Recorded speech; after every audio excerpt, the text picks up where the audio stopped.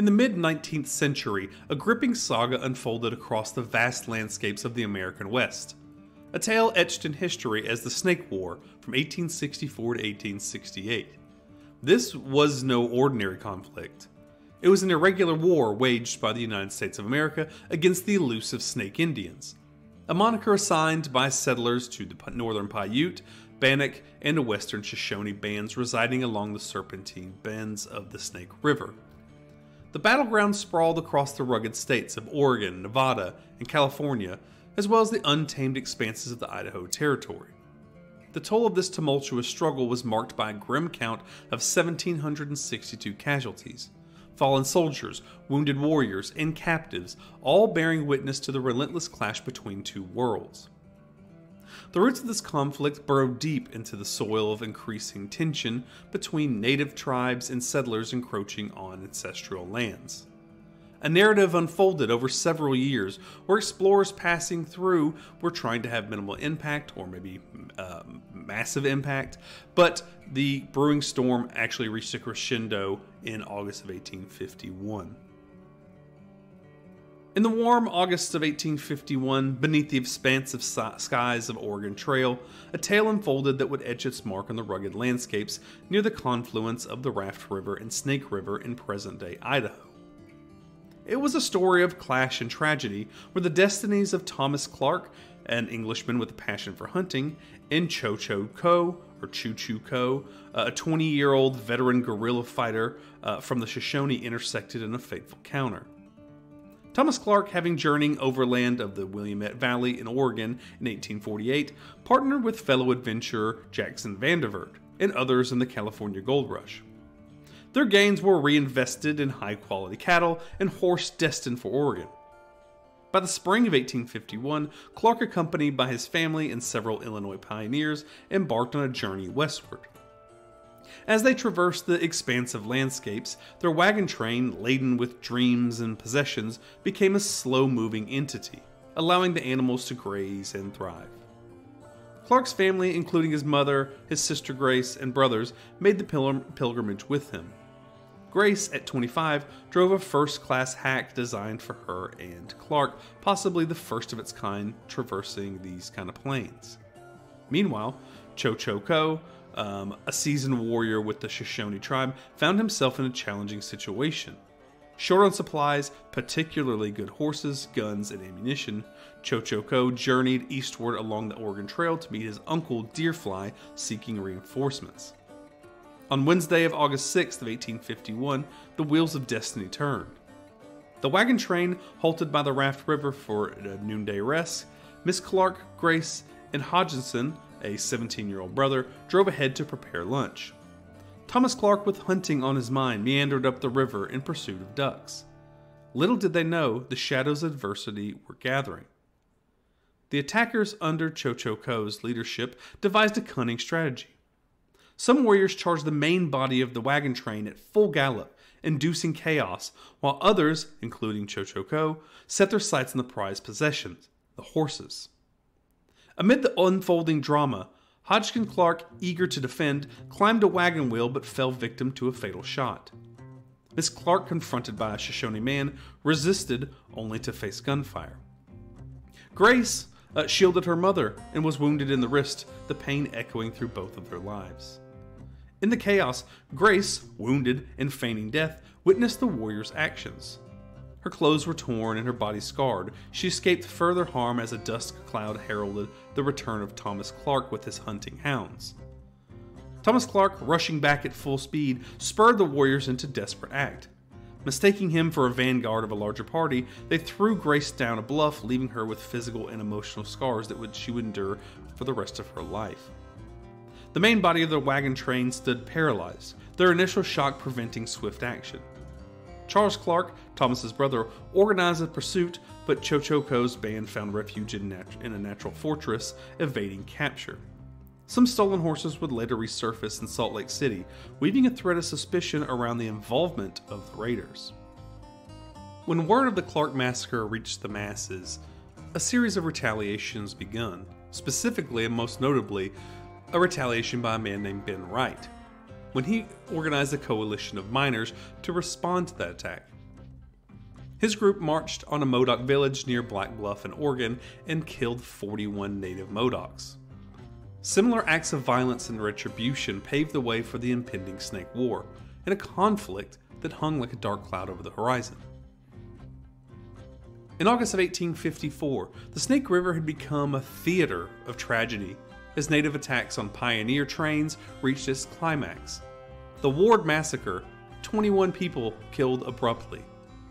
Because of that, and the attacks on the Modoc village and the Clark Massacre, the U.S. Army launched the punitive Winnas Expedition, and it made a turning point of the relentless struggle for dominance. As the years unfurled, echoes of the Spokane War resonated, and the U.S. Army became the custodian of migration to Oregon. Escorts like silent guards were dispatched each spring from 1858. Yet, the relentless tension persisted, especially for straggling groups like the ill fated Myers Party, meeting their demise in the Salmon Falls Massacre of, 18, of 1860, and that actually claimed 29 lives. As federal troops withdrew in 1861 to confront the upheavals of the American Civil War, the torch was passed to the California Volunteers. Subsequent, subsequently, the 1st Washington Territory Infantry Regiment and the 1st Oregon Cavalry replaced Army exports on the immigration trails, a shifting of the guard against the ever encroaching shadows of conflict. Amidst the turmoil, a visual journey reveals the Nez Perce Reservation in Idaho, a testament to the geographical chessboard where tribes and settlers played their moves. The landscape echoed the silent resistance of Western Shoshone, Paiute, and other local Indians against the relentless encroachment, a resistance that would soon be known as the Snake War. Yet, the tendrils of conflict extended beyond territorial disputes. As gold mining waned in California in the late 1850s, a new wave of prospectors sought their fortunes venturing north and eastward up into the upper Great Basin and the Snake River Valley. A desperate competition for resources ensued, fueling violent uh, bloodshed on both sides as miners consumed more game and water, and that dug into the Native American lands.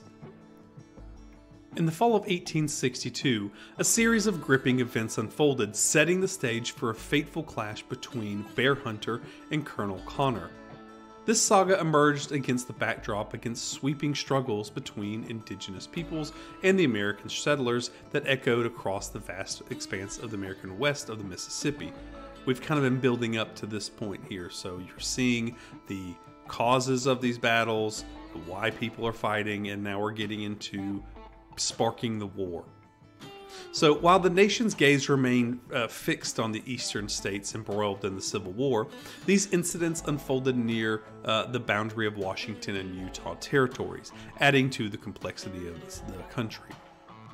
In the shadow of these broader conflicts, a narrative unfolded in this region near Summit Creek, which is now Smithfield, when a horse mysteriously vanished, sparking an accusation against a young Shoshone named Pugweenie. The subsequent trial and hanging of this man set off a chain reaction as the Shoshone retaliated, claiming lives of settlers in the Merrill family. Meanwhile, the echoes of the gruesome massacre near Fort Hall in 1859 resonated through the region. A settler company from Michigan journeying along the Oregon Trail fell prey at night uh, by presumed local Shoshone. The survivors, hiding along the uh, Portneuf River, bore witness to the brutal aftermath with Lieutenant Livingston's dragoons encountering a scene of unimaginable horror. A young girl mutilated and left to walk on her stumps, symbolizing the depths of the tragedy. Fast forward to 1860, and the Oregon Trail had become a battlefield in the infamous Battle of the Providence. Elijah Utter and his migrant party faced a deadly assault by Bannock and Boise Shoshone, resulting in a significant loss of life. Reuben Van Ornum, a missing young boy, became the focal point of a quest for justice. His uncle, Zacchaeus Van Ornum, sought assistance from Colonel Connor at Fort Douglas, triggering a dramatic uh, expedition to Cache Valley. The confrontation with Chief Bear Hunter and the subsequent skirmish in the Providence Canyon underscore the tensions that would come to head. As the winter of 1862 approached, Connor dispatched Major Edward McGarry on an expedition to recover stolen livestock, further escalating hostilities. The Bear River crossing witnessed a dramatic episode when the Shoshone breaking camp, fleeing and advancing Army troops, and executing captives. The Deseret News expressed concern about the potential fallout from the executions, highlighting a delicate balance between settlers and Shoshone. The Montana Trail became another theater of conflict when Shoshone warriors seeking vengeance for past actions. A series of attacks on miners culminated in a final catalyst from Connor's expedition a Shoshone assault on a group of eight miners near Franklin. As the survivors reached Salt Lake City, Chief Justice John F. Kinney, not Kennedy, Kinney, um, issued warrants to uh, arrest Shoshone chiefs, setting the stage for a military response. As soldiers from Fort Douglas prepared for a formidable expedition northward to confront the Shoshone, Colonel Connor had designed a plan. Keen on a surprise assault, he divided his command into detachments, ensuring that they met at strategic intervals during their journey at the Cache Valley. The response to Connor's military campaign echoed across diverse sentiments. George A. Smith, chronicling in the journal history of the LDS Church, hinted at skepticism, fearing the expedition might result in catching friendly Indians, leaving the guilty untouched. On the contrary, the Deseret News, in an editorial, expressed hope for the eradication of hostile parties, applauding Connor's potential success. The initial departure from Fort Douglas witnessed the first group, led by Captain Samuel W. Hoyt, departing on January 22nd of 1863. Following closely was a second group, consisting of 220 cavalry personnel, led by uh, Colonel Connor himself, setting out on January 25th. Armed with a substantial ammunition stockpile and aided by the cover of darkness, the soldiers embarked on a journey shrouded in secrecy. Upon nearing the town of Franklin, Captain Hoyt's infantry encountered a moment when Shoshone sought sustenance from settlers. Say that three times. Shoshone sought sustenance from settlers. the soldiers' unexpected uh, arrival prompted a swift retreat by the Shoshone, leaving uh, leaving sacks of grain behind. This encounter set the stage for the impending conflict.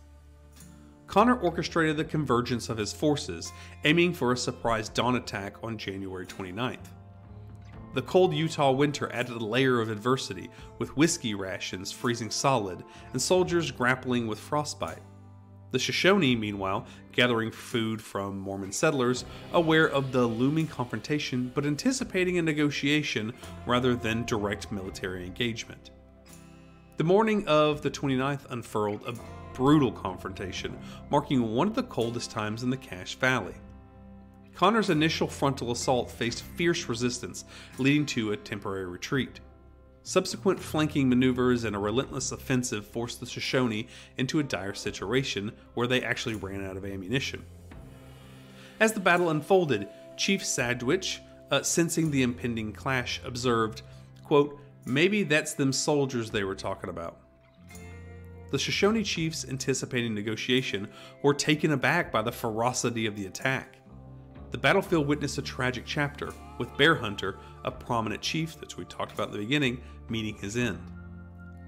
The aftermath revealed a stark disparity in casualty counts, with the California volunteers sustaining losses and the Shoshone enduring a devastating toll. Survivors, including Chief Sagwitch, navigated the harsh reality of the aftermath, striving to rebuild his shattered community. The echoes of the Bear River Massacre resonated as the concluding chapter of the Shoshone Nation's significant influence on the Cache Valley and its realms. Beyond the immediate ramifications, the conflict unfolded as a pivotal moment, facilitating the expansion of Mormon settlements into the northern reaches of Cache Valley and becoming a springboard for further ventures into southeastern Idaho. Cache Valley, once the contested terrain, now bore witness to the unfolding of a new chapter in its history. The friction between the Mormons and Colonel Connor persisted, weaving a narrative of accusations and criticisms that reverberated for years. Allegations of harassment against non Mormons in the Utah Territory and Connor's ambitious endeavors to initiate a mining industry in Utah fueled an ongoing discord. In the aftermath, Chief Sagwitch and his band forged an alliance with the Mormons, a surprising turn of events that saw many members baptized and embracing the teachings of the LDS Church. Sagwitch, elevated to the status of an elder uh, in priesthood, played a central role in the establishment of the Washakie or Washakie, Utah, a town named in honor of the Shoshone chief. The Northwestern Band members, under the sponsorship of the LDS Church, embarked on the journey of building farms and homesteads, paving the way for their integration into mainstream LDS society. Those Shoshone who did not partake in the settlement found their way to the Fort Hall Indian Reservation or the Wind River Indian Reservation, charting distinct paths in the aftermath of conflict. Meanwhile, the arrival of Colonel Connor and the California volunteers at Fort Douglas and their reception in the California community portrayed them as heroes. Published newspaper articles celebrated their exploits, depicting Connor's promotion to the permanent rank of Brigadier General. Shortly thereafter, he received a brevet promotion to the rank of Major General, an accolade that underscored his leadership during the Bear River Massacre. Connor's campaign against the Native Americans persisted through the remainder of the U.S. Civil War, leading the Powder River expedition against the Sioux and Cheyenne, etching his name further into the history of Western conflict. The legacy of the Bear River Massacre, with its complex interplay of alliances, settlements, and social integrations, left a mark on the Cache Valley history. So, what comes next? How does it end? The stage is set in 1866 amidst the turbulent currents of the Snake River War uh, for a defining moment, which is the Battle of the Owyhee River. Earlier that year, the Owyhee River had borne witness to relentless assaults by the Paiute, setting the scene for a clash that would resonate through the history of the Cache Valley. At first light of December 26, General Crook's forces stealthily closed in on an unsuspecting Paiute camp. The element of surprise played its hand as the initial shots shattered the stillness of the morning. Chief Howluck, undeterred, chose defiance and met the soldiers in battle. Taunts from the indigenous warriors were met with a precision and force that left little room for mockery. The swift exchange of gunfire saw the mounted warriors swiftly incapacitated, with the remaining few seeking refuge behind rocky fortifications until noon. When a tactical withdrawal was the only recourse, the toll on Howluck's warriors was severe. Thirty lay lifeless and seven were taken captive. In contrast, Cook's, uh, or I'm sorry, Crook's forces incurred a toll of one wounded and another mortally wounded. The battle, as noted by Crook, decisively put an end to further attacks from that particular band. So the Snake War unfolded through peace talks between General Crook and Snake Chief uh, Wawewa. Despite the profound impact, the Snake War languished in relative obscurity uh, within the pages of United States history the Paiute and Western Shoshone, lacking their martial renown of like the Apache or Comanche, failed to capture the attention of reporters during the conflict. Joe Wasson emerged as one of the few to document the war, but the nation, gripped by the American Civil War and its aftermath, remained kind of largely oblivious. Yet, despite its overshadowed status, the Snake War held a somber distinction. Statistically, it stood as the deadliest of the Indian wars in the West, deadlier than the Battle of Little Bighorn, leaving a toll of 1,762 men killed, wounded, and captured on both sides. If you look at the Battle of Little Bighorn, who everybody on this channel has probably heard of, and people who don't even care about West, Wild West history have probably heard of, that battle, there was only 847 casualties as compared to the Snake War, which was 1,762. The Snake War uh, is obscure. I didn't know about it until I started researching, and I thought I was pretty well read on the events of the Wild West. But it does leave a mark on the Wild West, even though we don't see it. It allows more travel to the west, which connects uh, connects the eastern part of the United States to the western part of the United States, and all the drama that unfolded in between.